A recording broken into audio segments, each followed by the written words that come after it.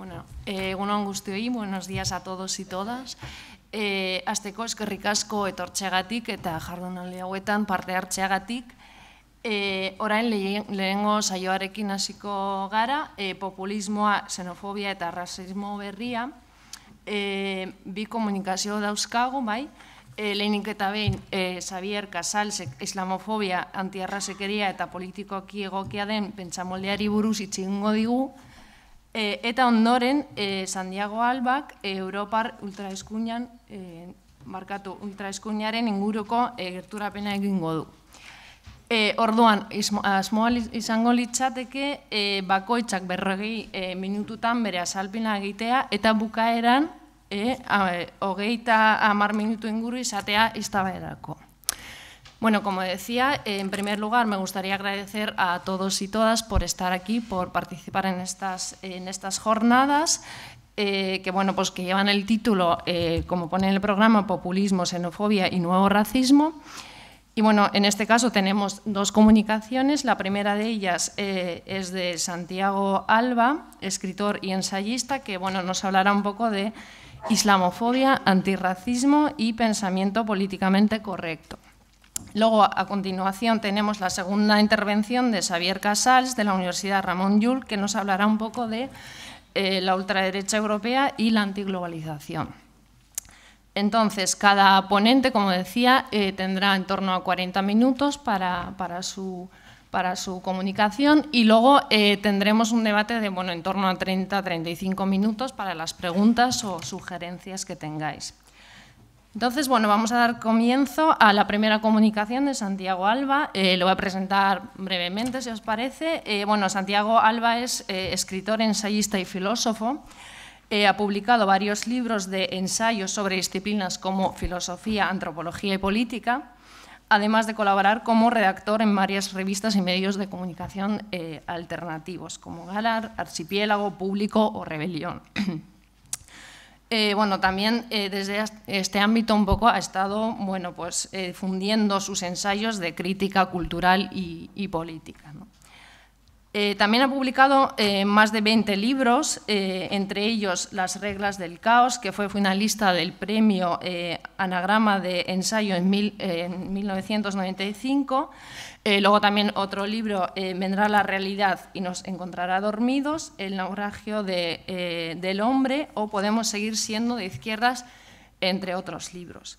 Bueno, pues Santiago, te cedo la palabra cuando quieras. Hola, buenos días. Bueno, es un placer estar aquí esta mañana reflexionando sobre cuestiones yo creo que tan importantes al mismo tiempo tan espinosas muchas veces eh, de entrada me gustaría decir algo sobre el, título general que nos, convoca aquí en estas jornadas.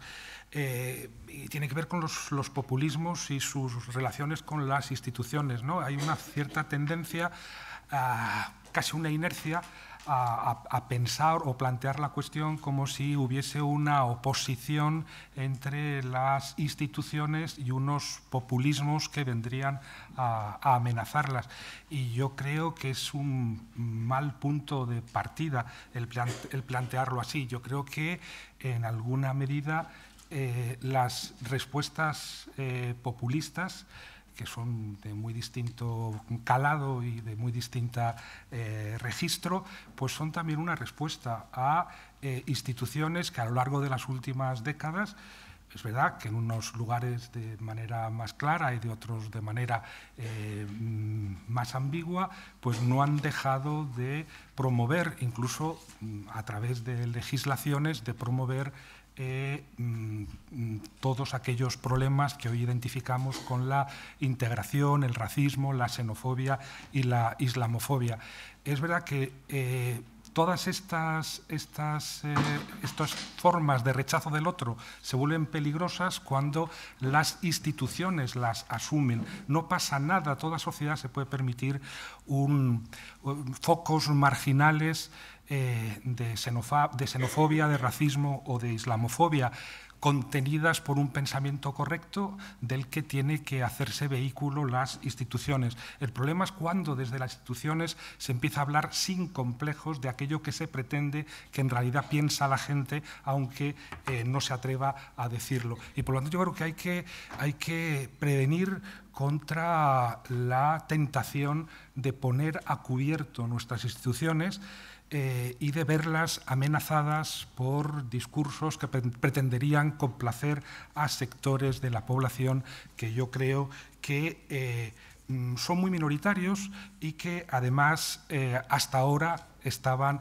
bastante confinados en, entre mm, bastidores o en las anfractuosidades de una sociedad el caso de, la vasca y del Estado español en general, bastante, bastante tolerante. Creo que en ese sentido eh, tenemos algunas ventajas mm, todavía. ¿eh?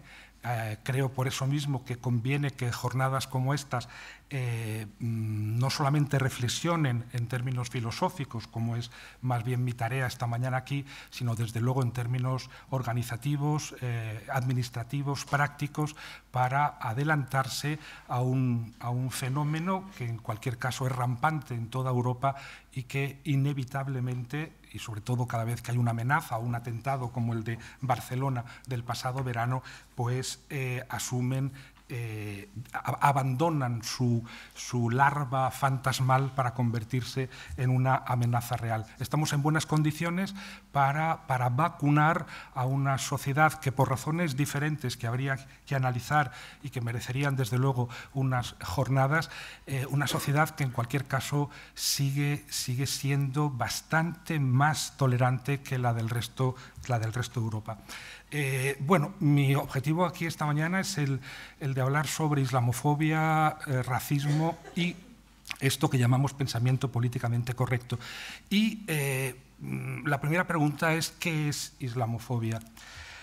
En Francia, que es la vanguardia, mm, digamos, de la, xenofobia y de la islamofobia en, Europa, también por razones muy particulares que tienen que ver con su historia, con su historia colonial, con, el, hecho de que hay una clase intelectual mainstream que impone eh, o naturaliza los rechazos eh, islamofóbicos, hay incluso una discusión sobre si existe o no existe la islamofobia a través de personas como Caroline Fourest o eh, de eh, Alain Finkielkraut u otros personajes de la alta cultura francesa, eh, se, ha, se, viene desarrollando desde hace un par de años esta, esta, discusión, que es una discusión típica que ya hemos vivido en otras ocasiones, ¿no? en la propia Francia, pero en toda Europa, cuando de alguna manera el, el enemigo interno era el judío europeo.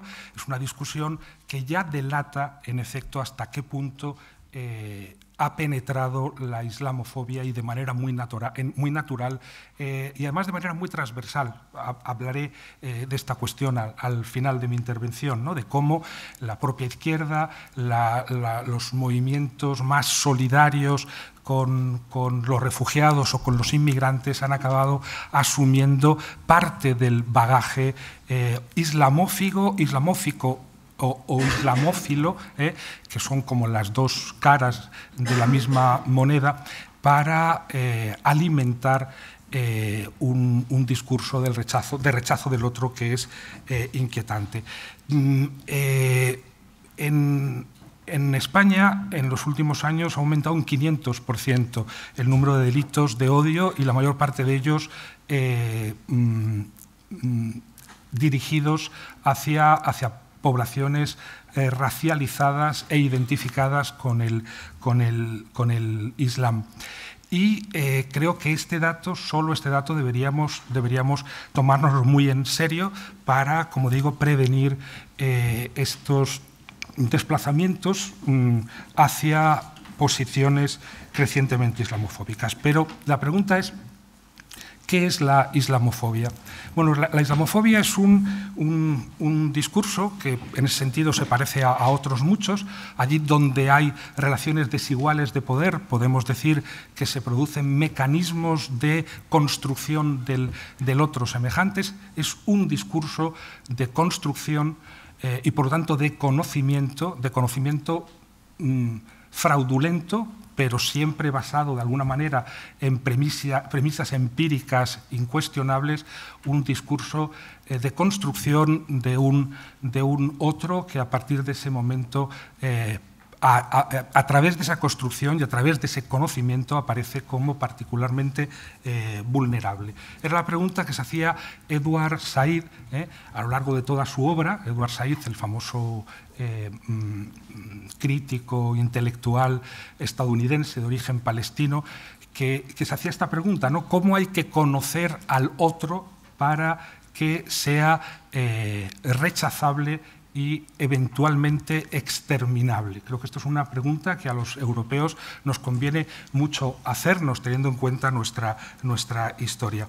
Bueno, pues yo diría que para construir un otro, para conocer a un otro que a través de ese conocimiento nos aparece como, como mm, rechazable y eventualmente exterminable, es necesario poner en juego una triple operación. La primera, yo creo que es muy evidente, tiene que ver con la reducción de la multiplicidad a la unidad.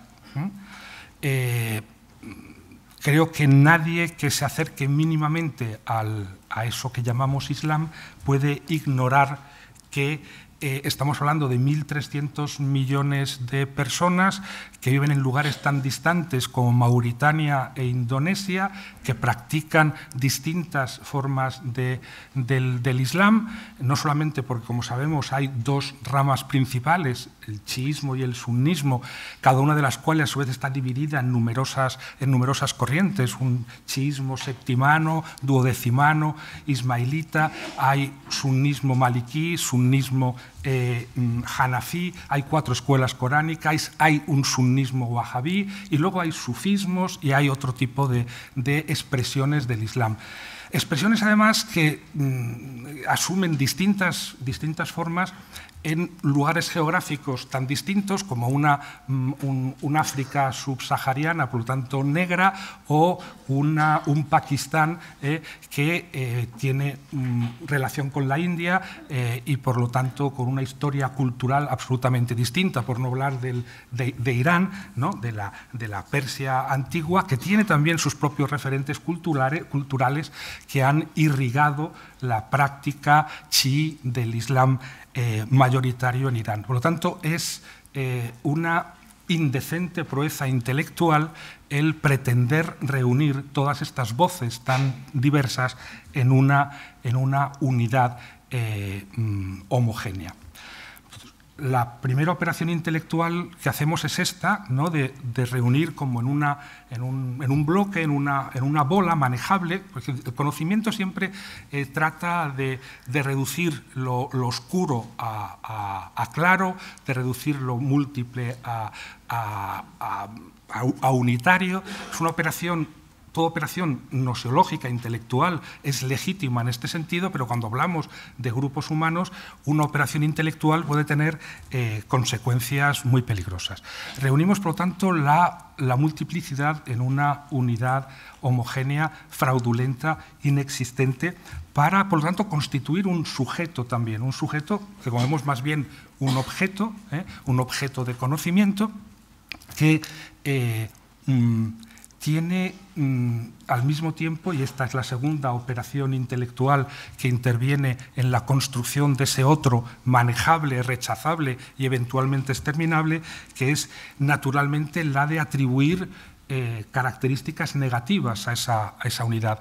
La multiplicidad la reducimos a unidad y además esa unidad adquiere ante, nuestros ojos eh, una, una eh, mm, forma claramente negativa una unidad negativa. Eh, todos sabemos cómo se ha identificado el Islam y esto no es desde, la última década, eh, tampoco ni siquiera desde el 2001, después de los, de los atentados del 11 de septiembre. Eh, esto empieza mucho más atrás y si nos da tiempo diré algo sobre la historia de la islamofobia, pero lo cierto es que sabemos que identificamos el Islam, hay toda una serie de... Mm, Mm, discursos eh, que son al tiempo periodísticos, intelectuales, pseudocientíficos, políticos, que identifican una y otra vez ese falso objeto que hemos previamente construido, el Islam, con su pluralidad de voces, en, lo identificamos con la resistencia a los valores universales, al ejercicio del derecho, a los derechos universales, por supuesto a la democracia, y todo esto eh, implica, por supuesto, que lo identifiquemos con la violencia, el fanatismo y eh, con la eh, finalmente el, terrorismo. ¿no? Parece que hoy, sobre todo, hablar de terrorismo eh, islámico es casi una redundancia o un, pleonasmo. Y luego, en una tercera operación, esta, esta unidad construida a partir de una multiplicidad que ignoramos o que despreciamos, a la que hemos eh, investido de rasgos claramente negativos, además la declaramos de algún modo inasimilable. Así que partiendo de una multiplicidad tan variada como la que entendemos que existe en el Islam desde Mauritania a Indonesia, eh, no solo construimos una unidad, no solo le atribuimos rasgos negativos, sino además la convertimos en inasimilable.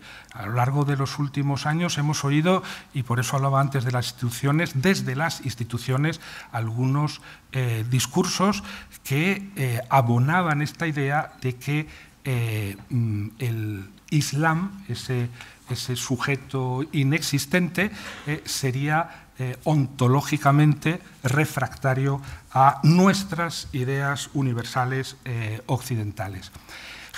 Justificando así políticas exteriores, desde luego desde los Estados Unidos, pero también desde Europa, que lo único que han hecho ha sido contribuir a eh, mm, alimentar todos estos mecanismos intelectuales eh, en un circuito cerrado que acaban mm, construyendo un otro vulnerable y eventualmente exterminable. Tenemos, por tanto, una unidad negativa inasimilable.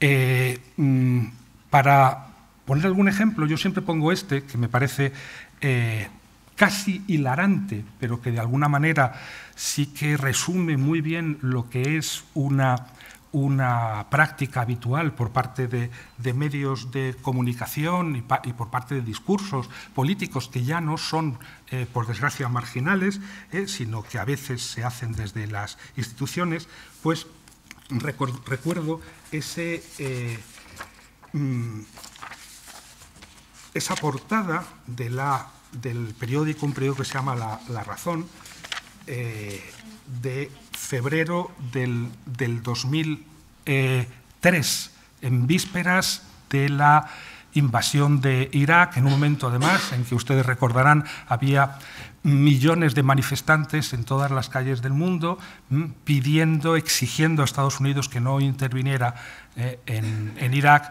y más después de haber utilizado pruebas patentemente falsas eh, para tratar de asociar al régimen de Saddam Hussein eh, una dictadura despreciable en todo caso, eh, para asociarlo con, con eh, el potencial uso de armas, de armas de destrucción masivas. Bueno, mm, en ese momento, un periódico como La Razón, la víspera de la, de la, de la ocupación de, de, Irak, publicó una, una portada que siempre lamento no poder proyectar como única proyección de mis intervenciones, eh, que es muy reveladora sobre eh, mm, cómo cristaliza en una fórmula mm, muy eh, breve y, muy eficaz esta triple operación de reducción de la multiplicidad a la unidad, de negativización de la unidad y de declaración de inasimibilidad por parte de esa unidad negativa. la portada era la siguiente. Mm, se veía ocupando a más en color todo el espacio de la, de la primera página, de la cubierta, un gran mapa del mundo. Por una vez Además, esto de los mapas, saben ustedes que es muy importante, ¿no? Siempre hemos, hemos jugado con mapas, nos representamos el mundo desde, desde el cosmos desde hace ya mucho tiempo, por lo tanto, de arriba a abajo siempre, incluso para la operación tan sencilla de, de viajar, siempre descendemos, nunca caminamos, nuestros recorridos nunca son horizontales, son siempre, son siempre verticales de arriba a abajo. Eso es una de las consecuencias políticas que tiene eh, la cartografía, que después de todo es también un gran progreso humano. Bueno, eh, saben ustedes que habitualmente se, utiliza, se utilizan dos escalas, las dos son eh, inexactas o imprecisas. Una, que es la más cómoda para la navegación, es la escala Mercator, ¿eh? Eh, que es la que habitualmente utilizan los, medios de comunicación o utilizan incluso hasta hace poco tiempo las escuelas. La escala Mercator, que es muy útil para la, navegación, tiene sin embargo un, problema y es que no representa con fidelidad las proporciones de los países y de los continentes. De tal manera que con arreglo a la escala Mercator, eh, Europa tiene el mismo tamaño que África, cuando sabemos que África es tres veces más grande como continente que, Europa. Bueno, pues por una vez, la razón, que es un periódico que nadie puede negar que es eurocéntrico, pues, pues no utiliza la escala Mercator, que es, digamos, la más halagadora para eh, los delirios de grandeza europeos, sino utiliza la escala Peters. La escala Peters es una escala que sin reproducir exactamente las proporciones de los continentes sí se acerca mucho más, es mucho más fiel. Eh, y en, estos mapas, representados con la escala Peters, pues África y Europa mantienen una relación de proporciones geográficas mucho más próxima a la, realidad. Bueno, pues por una vez la razón eh, publica un mapa con la escala Peters, por lo tanto con una Europa eh, mucho más pequeña de la que habitualmente los europeos tenemos en nuestra, en nuestra cabeza, y eh, mm, ilumina en, en, rojo todos los países en los que la religión musulmana es la religión mayoritaria. De tal forma que la impresión óptica es la de una Europa pequeña y amenazada por unas grandes pinzas eh, de, langosta o de cangrejo gigante, no en vano de color rojo, porque aquí detrás está toda la, la, la eh, memoria de la Guerra Fría, del comunismo, ¿no? esto que hablaba Huntington en los años 90, ¿no? de cómo el, el, Islam y la confrontación de culturas va a reemplazar la confrontación ideológica, pues bueno, naturalmente muy sensible a ese discurso, la razón ¿eh? ilumina en rojo todos los países del mundo, estamos hablando de 1.300 millones de personas, donde se practica, donde se practica el Islam. Y en el centro de esta, de esta gran tentáculo o tenaza está una Europa frágil y amenazada. El golpe óptico es verdaderamente ya eh, mm, tremendo, casi traumático, pero la cuestión es cuando además esta, esta manipulación gráfica va acompañada de un, de un titular, esto la víspera de la, de la ocupación de Irak por parte no solo de Estados Unidos, lo recuerdo, sino también de sus aliados, entre los que se encontraba como el más eh, entusiasta y el más enfervorizado, José María Aznar, pues eh, el titular era Europa amenazada por 1.300 millones de islamistas. O sea, no se dan ustedes cuenta de cuántas barbaridades pueden caber en un titular. En un momento en que en quienes están amenazados, como sabemos, son los iraquíes, amenaza que se va a hacer realidad al día, al día siguiente, se invierte, se invierte eh, enteramente la, la lógica de los acontecimientos y además se identifica a 1.300 millones de musulmanes de Mauritania a Indonesia con esa amenaza que es en definitiva la amenaza, la amenaza terrorista, porque los llama además islamistas, no los llama musulmanes. ¿eh? Eh, no hay 1.300 millones de islamistas en el mundo, sí 1.300 millones de musulmanes. Pero utilizar el término islamista, que es por cierto un término que no existe en árabe para definir a esos 1.300 millones de musulmanes es ya criminalizarlos, es convertirlos obviamente en una amenaza, porque como sabemos, en la tradición europea, islamista se identifica con las corrientes eh, musulmanas eh, que tienen un discurso y una intervención política. Dentro del islamismo hay también muchas corrientes muy diferentes, algunas eh, pacíficas, algunas incluso, como en el caso de Túnez, en estos momentos están gobernando e incluso han redactado la única constitución realmente laica y liberal del mundo árabo-musulmán. Pero con todo, digamos que en el imaginario europeo, el término islamista inmediatamente mm, eh, se asocia a la violencia, al fanatismo y a la actividad terrorista. Ese es un, buen, un buen, ejemplo de una práctica que, se ha mantenido hasta, hasta ayer ¿eh? Eh, en los medios de comunicación. Y aquí, en efecto, conviene decir algo sobre varios peligros a los que nos enfrentamos y que deberíamos evitar cuando abordamos el, tema de la islamofobia y del racismo. Uno es eh, el historicismo. ¿eh? Y yo creo que este es un, defecto que sobre, todo tiene la, derecha, ¿eh? la derecha y las derechas populistas mucho más, que consiste básicamente en ontologizar al, el objeto de conocimiento en construcción y en esa oposición, unidad positiva, unidad negativa, interpretar que estamos en guerra eh, con ese objeto eh, desde el principio de los tiempos. Eh, pensemos, por ejemplo, en la famosa conferencia de José María Aznar en la Universidad de Georgetown en septiembre del 2014, cuando dijo aquello de que... Mm, voy a usted encontrarlo enseguida.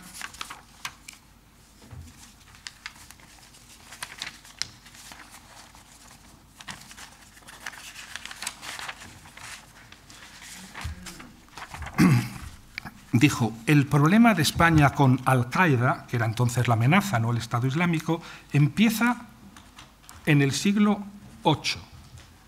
Los atentados del 11M no están relacionados con el apoyo del gobierno español a la guerra en Irak, sino que se remontan mucho más atrás. España rechazó ser un trozo más del mundo islámico cuando fue conquistada por los moros y rehusó perder su identidad. Eh, es difícil abusar más claramente de la, historia. ¿no? Eh, Mm, un año después de haber contribuido a, devastar Irak con las consecuencias que hoy todos conocemos, Aznar niega su responsabilidad en esa, en esa violación del, derecho internacional y para eh, ocultar los rastros mm, atribuye la, existencia de Al-Qaeda a eh, un proyecto del siglo VII 8 de eh, invasión de Europa que los españoles del siglo VII, que no existían, o del siglo VIII, habrían eh, evitado entonces y que hoy él estaría continuando tratando de, evitar. En definitiva, mm, es, el historicismo consiste en negar la historia. Es verdad que las cosas tienen un principio en la historia, pero si uno eh, atribuye ese principio a un momento en hilo tempore eh, en el que ni siquiera España existía y lo convierte en una lucha eterna entre el bien y el mal, estamos, cometiendo un crimen de leso eh, historicismo. Y, digo que esto no es una, excepción. hace apenas un año el mundo eh, publicaba también en portada un gran mapa eh, de, los territorios dominados por los musulmanes en el siglo VIII, para eh, recordarnos que el proyecto del Estado Islámico incluía al Andalus y, por lo tanto, el conjunto del territorio español en sus propósitos de conquista. Ese es un, abordaje que tenemos que evitar sin lugar a dudas. Pero otro que hay que también evitar, u otros dos, eh, son los siguientes. Y estos tienen más que ver con mm, prácticas intelectuales eh, mm, de los medios progresistas, de los medios de izquierdas, de las propias organizaciones que, eh, mm, con la mejor intención del mundo, tratan de defender ideas como la de integración, igualdad, etc. Y una es lo que Vincent Jaser llama el culturalismo y la otra lo que podríamos llamar el miserabilismo. Veamos, creo que es muy importante que nos pongamos de acuerdo en que no todas las creencias son iguales. Esto puede parecer inicialmente muy provocativo, pero hay un discurso que se eh, mm, eh, repite con una cierta frecuencia, eh, muy bien intencionado, en virtud del cual parecería que todas las creencias son iguales y que lo, que las distingue es el mal uso que creyentes individuales hacen, de ellas. Bueno, yo creo que, que eso no es cierto. No, no es posible, por ejemplo, pretender que hay nada bueno o salvable en un discurso supremacista como era el nazi, que pretende jerarquizar en términos de raza eh, las sociedades y además sacar consecuencias en términos no solamente de exclusión o integración, sino incluso de supervivencia a partir de, ese, de, ese, de, esa jerarquía eh, racial no hay ninguna posibilidad por muchos hombres buenos que en los años 30 en Alemania apoyaran el nazismo, no hay ninguna posibilidad de que un hombre bueno individualmente haga buena una doctrina ideológica como la nazi. Eh, podría ocurrir que mm, sea más bien al contrario, que hay eh, discursos que sí que pueden ser eh, mm, rehabilitados o reconducidos por los, por los seres humanos eh, individuales, a condición de que aceptemos, uno, que no todos los discursos son iguales, y dos, que, por ejemplo, las religiones, por no hablar solamente del Islam, el cristianismo o el judaísmo, eh, no son exactamente eh, discursos ideológicos, al contrario de lo que ocurre con el, con el nazismo. El, Islam, que hemos dicho que no es un sujeto, el Islam no dice nada, el Islam no habla, hablan los seres humanos. El Islam es un conjunto histórico de, prácticas, de discursos, de artefactos culturales en, localizado en distintos lugares del, del mundo que ha estado en permanente resignificación a lo largo de la historia, como ha ocurrido con el cristianismo. Y esa resignificación unas veces le ha puesto al lado del poder, otras le ha enfrentado al poder, dependiendo de los lugares donde, donde estuviera. En todo caso, eh, el Islam tiene una vertiente ideológica, pero tiene también una vertiente eh, cultural, tiene una vertiente geopolítica, tiene una vertiente antropológica y eh, está en permanente resignificación. Por lo tanto, es eh, muy peligroso que desde la izquierda o desde posturas más progresistas acabemos haciendo lo mismo que, hace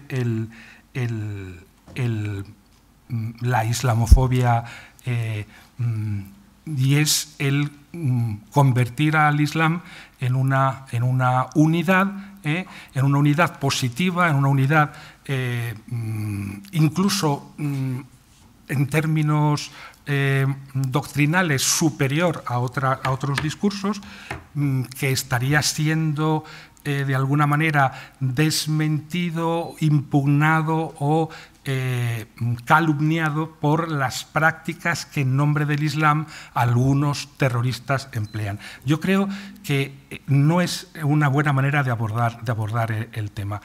el Islam está en permanente resignificación y en estos momentos sí se puede decir que mientras que, por ejemplo, en los siglos XI y XII el Islam era una fuerza claramente un vector emancipatorio e iluminista, también lo fue a finales del siglo XIX y a principios del XX, pues hoy, por razones que tienen que ver, esta sí, con la geopolítica y sobre todo con la hegemonía saudí y del wahabismo en la zona, pues no es una fuerza social eh, de, transformación emancipatoria. Y el otro peligro, que también tiene que ver con, el, modo en que, en que desde la izquierda, desde posiciones progresistas, desde organizaciones, se considera el Islam, tiene que ver con eso que yo llamaría miserabilismo, y es decir, es con la tentación de eh, mm, justificar cualquier reacción que venga desde el, desde el mundo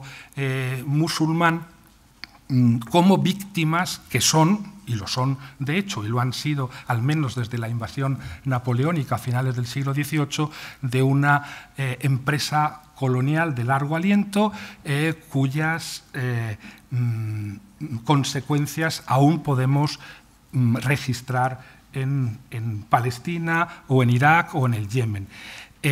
Mm, el miserabilismo es muy peligroso porque acaba haciendo algo muy parecido a lo que hace el discurso colonial, que es eh, privar de responsabilidad a los, a los agentes que están luchando sobre el terreno contra ese colonialismo y al mismo tiempo contra los eh, eh, mm, abusos internos a su propia cultura.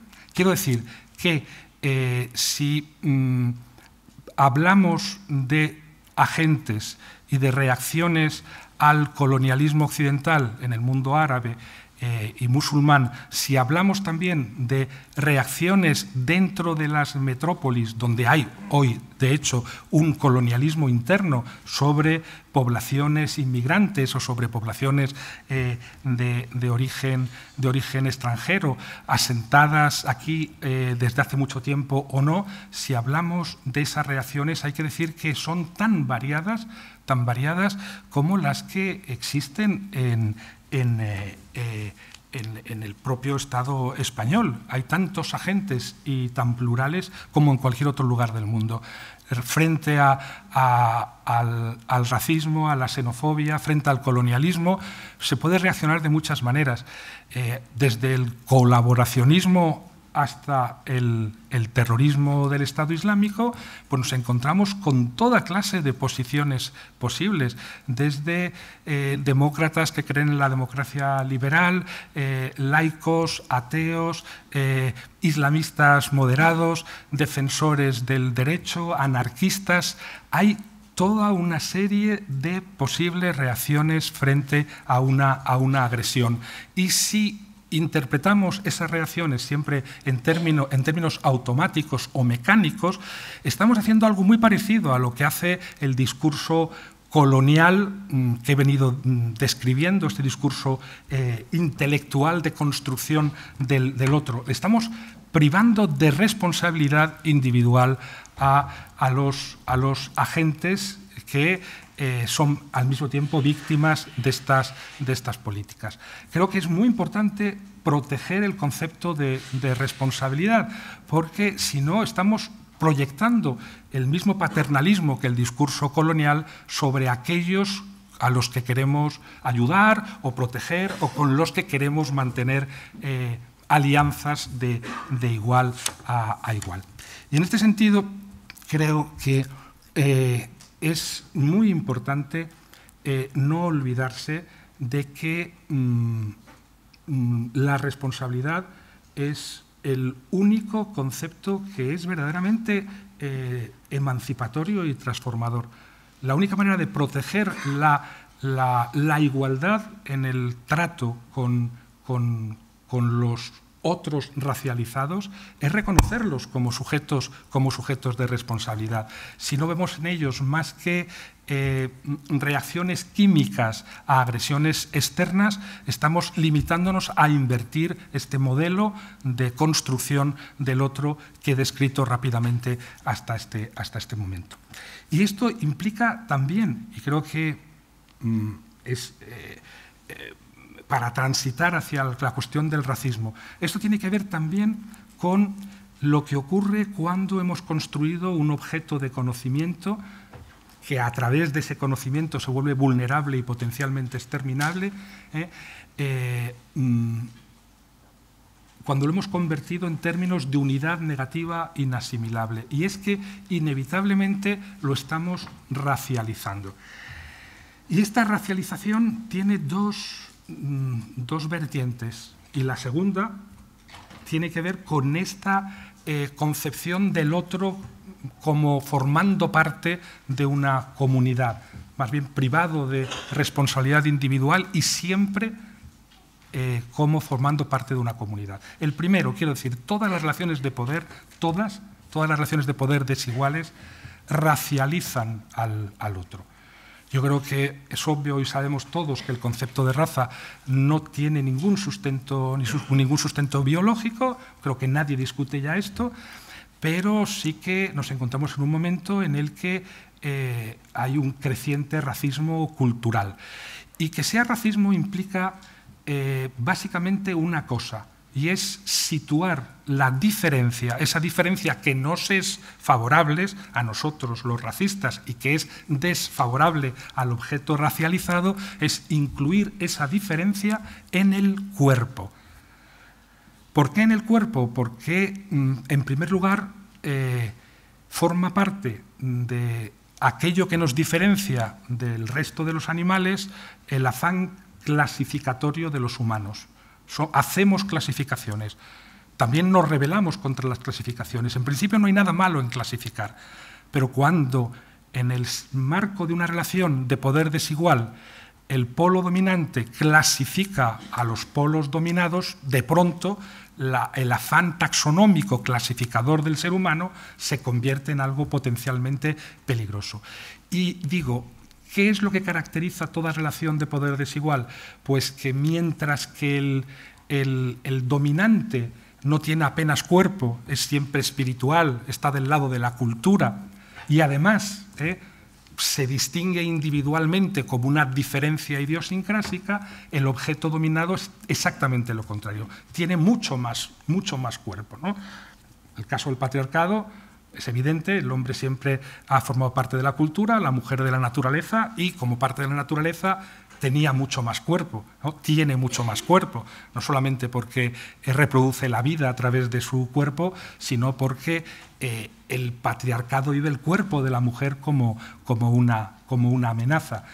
Pasa lo mismo pues, con el, racismo clásico, el racismo contra, contra los negros o contra los judíos. Siempre la, la, caracterización de su diferencia integrada en el cuerpo, en un cuerpo magnificado que obviamente está mucho más cerca de la naturaleza que el cuerpo eh, estilizado y espiritualizado del, dominante. Los negros, los judíos, los musulmanes son más rijosos, lujuriosos, se contienen eh, peor, se reprimen peor, no dominan sus emociones, que es lo mismo que pasa con las mujeres. Son construcciones, yo creo que eh, mm, estándar, mm, que tienen que ver en efecto con eh, la diferencia cuerpo-alma, que es una diferencia platónica que tiene 25 eh, siglos y que eh, mm, configura al dominado como particularmente dotado de cuerpo. Son más cuerpo que los dominantes.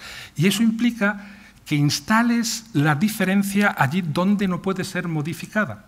Y tiene, por lo tanto, que ver también con esto, que hablábamos del carácter inasimilable del otro, racializado del otro, construido a través, a través de un conocimiento eh, fraudulento. Mm, la, mujer, el negro, el inmigrante, eh, eh, el pobre, mm, todos mm, exhiben su diferencia instalada allí donde no podemos de ninguna manera hacer nada contra ella. Por eso, racializar al otro, eh, que yo creo que forma parte de los mecanismos espontáneos de la noseología negativa del rechazo del otro, eh, tiene al mismo tiempo muchas ventajas, porque eh, mm, se justifica a sí mismo. Si está instalado en el cuerpo, yo no necesito buscarlo apenas miro al otro ya sé quién es, ya sé que forma parte de, los mm, mm, otros potencialmente eh, exterminables o rechazables. Eh, instalar en el cuerpo la diferencia tiene esta enorme ventaja de que la diferencia se declara a sí misma todo el rato y además no podemos modificarla porque forma parte de su, de su cuerpo. Racialización y eh, mm, naturalización y ontologización de la diferencia son la misma cosa. Y luego la otra, que tiene que ver con esto que hablábamos de las, de las comunidades, y es el hecho de que eh, en toda relación de poder, allí donde el otro dominado tiene más cuerpo y su diferencia, que nos es favorable, es visible y además no se puede cambiar, ocurre que esa diferencia respecto de nosotros lo integra necesariamente en una comunidad. ¿Qué nos diferencia a los blancos racistas de los negros o de los musulmanes o de los inmigrantes o de las mujeres? Es que nosotros nos distinguimos entre nosotros, somos todos diferentes, no formamos ninguna comunidad, mientras que los otros racializados, cuya diferencia está inscrita en el cuerpo, siempre forman parte de una, de una comunidad, no se distinguen entre, entre, ellos. Y eso explica, por ejemplo, el que eh, mm, si hay un atentado en París, no hay, no hay eh, anulación de reservas de billetes para visitar París por parte de los europeos, porque eh, París no parece nunca llena de mm, mm, colectivos coordinados para hacer el mal, ¿eh? porque la mayor parte de los parisinos son, son europeos y son, y son blancos. Si hay un atentado en Túnez, donde ha habido dos, como recordarán ustedes, ocurre exactamente lo contrario. Inmediatamente se anulan todas las, reservas porque en la medida en que Túnez es un país de mayoría musulmana, se entiende que todos los musulmanes están conspirando como parte que son de una comunidad contra el interés de los, de los turistas.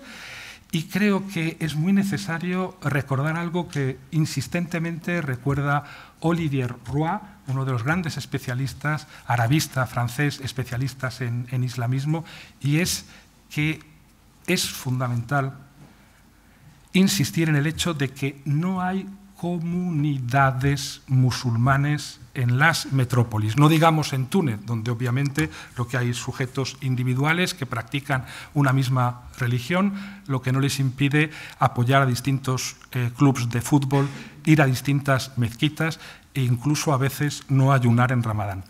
Eh, no hay una comunidad musulmana. Para todos los que trabajan con, inmigrantes y con inmigrantes eh, que practican el Islam como religión propia, pues saben que, en las grandes ciudades europeas pues, pues no hay una comunidad musulmana. Puede que haya una comunidad pakistaní, puede que haya una comunidad marroquí, decir, más bien por razones, por razones nacionales, como ocurre eh, en, todas, en todas partes. Yo vivo en Túnez desde hace años y eh, hay una comunidad italiana, hay una comunidad francesa, que por cierto eh, no solamente no tiene la menor intención de integrarse en la sociedad tunecina, sino que hace todo lo posible para que nadie pueda confundirles con, con el país en el que, en el que viven.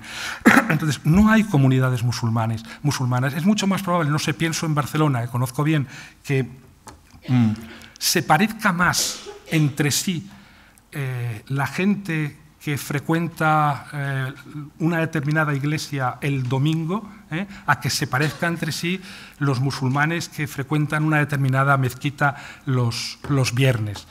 No hay una, una, comunidad y cada vez que hablamos de comunidad, de alguna manera estamos mm, alimentando esa construcción interesada del otro que además justifica por un lado, todas las políticas institucionales y todo el, repunte de estas fuerzas de ultraderecha rampantes que, sobre todo después de la mal llamada crisis de refugiados, están tratando de asociar eh, eh, el Islam, las comunidades musulmanes en las metrópolis europeas, con una amenaza para el conjunto de los europeos, sino también estamos, de alguna manera, abonando el campo a las políticas eh, muy selectivas y muy eh, perspicaces de los terroristas que atentan en, Europa con el propósito precisamente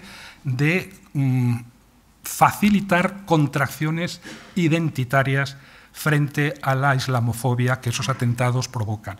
Hay una voluntad tanto por parte del discurso, digamos, institucional ya, porque en Francia, desde luego, y con la ley de emergencia y con la última ley antiterrorista de Macron es aún más claro, desde la institución esa construcción de una comunidad, es decir, de un enemigo interno, pero también por parte del, del Estado Islámico son estrategias confluyentes destinadas a que los musulmanes se sientan amenazados como musulmanes, se contraigan en términos comunitarios y al hacerlo, de alguna forma, den la razón a la islamofobia en un circuito vicioso eh, cerrado.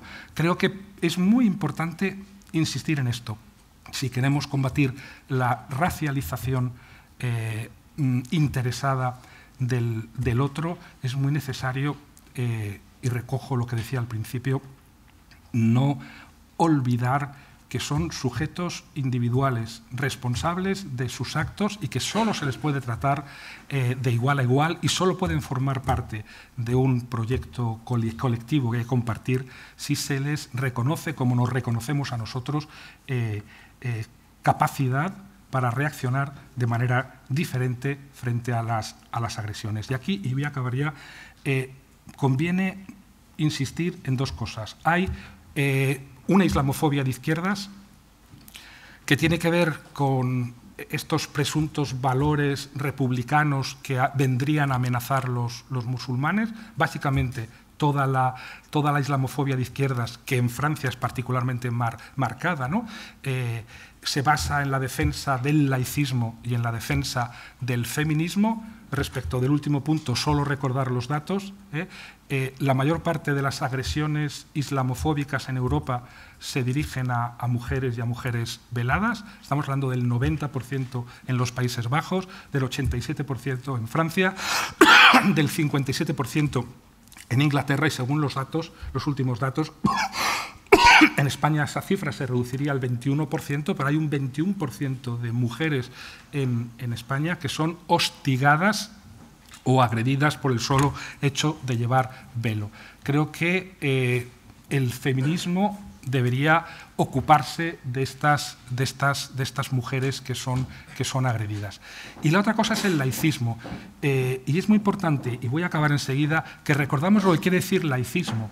Laicismo no es una eh, doctrina social ni una ideología, es solamente un criterio eh, administrativo, si se quiere, de los estados, de los estados modernos. Laicismo quiere decir que eh, el Estado no puede obligar a nadie a practicar una determinada religión y quiere decir también que ningún grupo, ni religioso, ni añadiría yo eh, económico, ningún lobby, ni religioso ni económico, puede eh, gestionar el, Estado.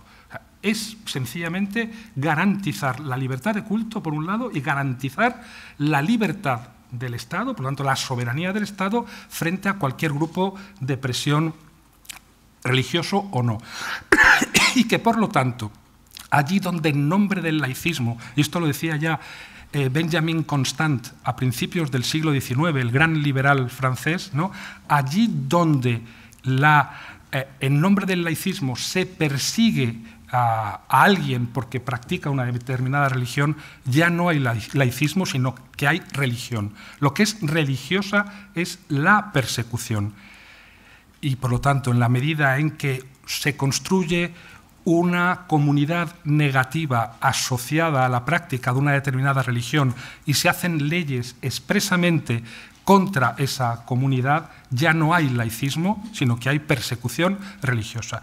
Defender el laicismo es una cosa muy seria, pero hay que entender bien lo que es, porque si no acabamos justificando eh, la persecución religiosa o mm, eh, la xenofobia o la islamofobia en nombre de valores que hay que proteger. Y la otra cosa, y ya sí que acabo, tiene que ver con la, eh, con la necesidad por parte de, los movimientos sociales, organizaciones, eh, fuerzas progresistas que se toman en serio la protección e integración de refugiados e de inmigrantes, recordar que mm, es eh, un error victimizar a eh, los refugiados y a los inmigrantes. No se puede condenar a un ser humano a ser una víctima, a ser solo una víctima y a que todos sus discursos y todas sus aspiraciones pasen por anteponer o por identificarse con su eh, condición de víctima. ¿Por qué? Sobre todo porque a una víctima se le exige que sea buena. Y yo creo que, y esto es una, puede parecer una provocación, eh, también los que sufren, eh, también las víctimas tienen derecho a ser hijas de puta. ¿eh? y por eso conviene que sepamos que puede haber también mm, conductas irregulares y delitos. Una cosa es que consideremos que todos los inmigrantes son delincuentes, que eso tiene que ver con lo que, con lo que he dicho, y otra cosa es que nos neguemos a aceptar que un delincuente, eh, que, perdón, que un, inmigrante mmm, puede ser tan mala persona como algunos de nuestros connacionales, ¿eh? de los que también nos defendemos. Entonces, evitar la comunitarización, pero también la victimización del inmigrante o el refugiado, al que hay que reconocer eh, responsabilidad individual y, por tanto, también eh, el, el, derecho a, a, no ser bueno, que eh, mm, es un derecho del que luego el derecho en el caso de que haya delito, tendrá que, que, protegerse y protegernos. Pero creo que en términos teóricos es muy bueno evitar la victimización y evitar el reconocer este derecho a los inmigrantes. Gracias.